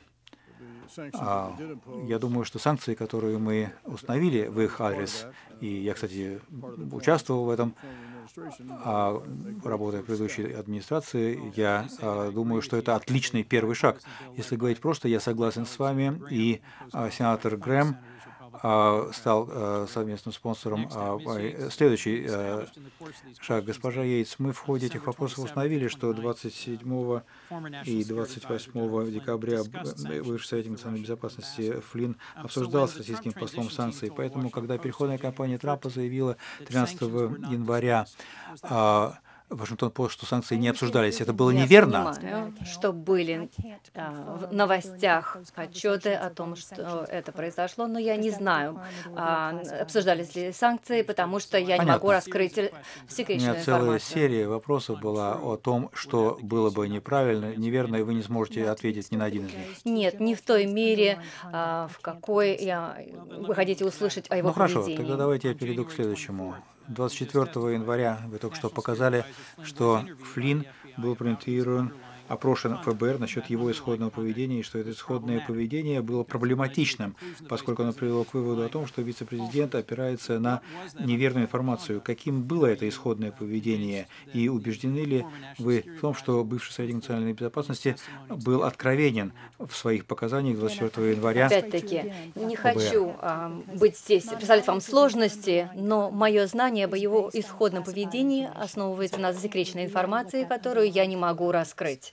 А, и я, если я должна как бы, я не могу здесь искусственным образом описать я понимаю. событий, не 27 января вы дали свидетельские показания относительно того, что вы обсуждали с советником Белого дома четыре темы. И, соответственно, речь шла о, частности, о возможном уголовном преследовании. Какие соответствующие положения закона вы обсуждали? Сенатор, я... В данном случае... Если я, я эти положения думаю, и законы упомяну, то тогда вам станет понятно, что это было за исходное поведение. Поэтому я очень осторожно хочу себя вести, формулировать свои ответы, чтобы я, с одной стороны, защищала и охраняла засекреченную информацию, и поэтому я не могу Считаете ли вы, что администрация серьезно восприняла ваше предостережение, когда вы предприняли эти экстраординарные шаги? Когда вы, соответственно, проинформировали Белый дом. Считаете ли вы, что они предприняли адекватные шаги в отношении Флинна? Когда речь шла относительно моментов, в которых он участвовал? Конечно, в ходе встречи 26 и 27 числа господин Макген продемонстрировал, что он понимал серьезность дела и серьезно, во всяком случае, относился к этому. И я совершенно не могу знать о том, что они сделали по этому поводу. Если ничего они не сделали, то это вызывало бы озабоченность. Хорошо, то есть вы не знаете, предприняли ли какие-либо шаги в плане предотвращения доступа к секретной информации, вплоть до того момента, пока Вашингтон-Пост не опубликовала статью, в которой говорилось, что он 30 числа я там больше не работала, и поэтому я не знаю, какие мероприятия были сделаны в Министерстве юстиции или какая информация была предоставлена. Соответственно, рекомендовали ли вы советнику Белого дома, чтобы необходимо было предпринять расследование или ограничить его доступ к э, чувствительной секретной информации. Это гипотетическая ситуация. Если бы я продолжала работать в Министерстве юстиции, если бы у меня складывалось впечатление, что ничего не было предпринято, то я опять-таки эту тему подняла бы в Белом доме, да. Спасибо, госпожа. Спасибо, господин Группер.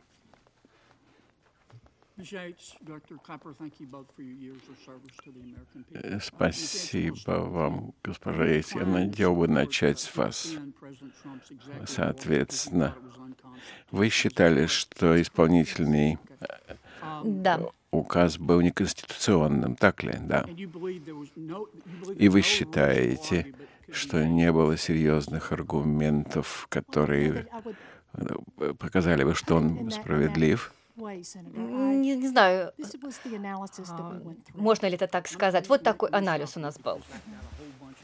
Соответственно, я, у меня целый ряд вопросов. Я просто хотел бы понять, Соответственно, считаете ли вы, что были и разумные аргументы, которые могли бы быть найдены в его Я защиту? считала, что любые аргументы в защиту этого не основали, основывались бы на правде, потому что для того, чтобы сделать аргументы в пользу этого, мы должны были бы сказать, что исполнительный указ не имел никакой связи с а, намерением дискриминировать против а, мусульман. И на основании целого ряда фактов и факторов, да, да, я считаю, что это был именно правильный анализ, и в, нек... и, э, в суде этот анализ был подтвержден. Когда мы проводим анализ на конституционность какого-то заявления, мы смотрим на намерение.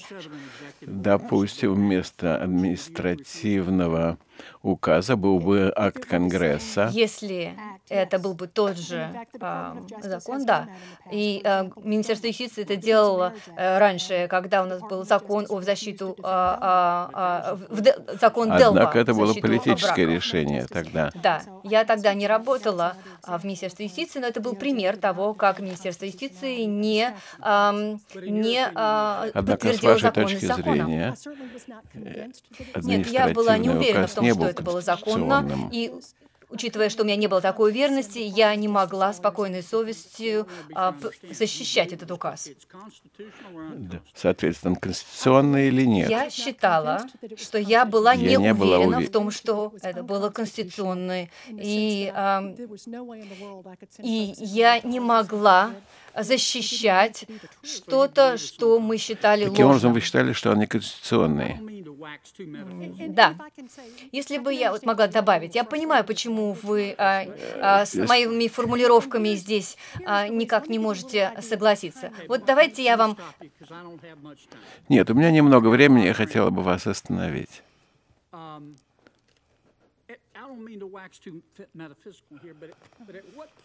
Я бы так сказал.